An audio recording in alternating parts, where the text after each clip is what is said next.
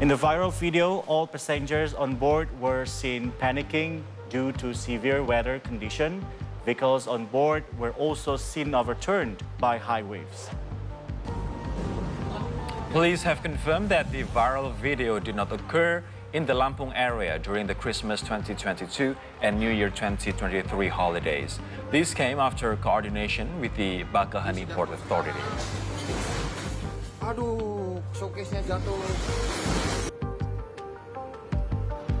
dapat diperoleh informasi bahwa kejadian yang sebenarnya terjadi dan video tersebut adalah bukan di wilayah hukum Polda Lampung atau di sekitar perairan di wilayah Lampung. Kami berharap kepada seluruh warga masyarakat yang menerima suatu unggahan video maupun juga caption daripada berita-berita yang tentunya dapat uh, mengganggu aktivitas warga masyarakat, tentunya informasi tersebut patutlah untuk dilakukan pengecekan.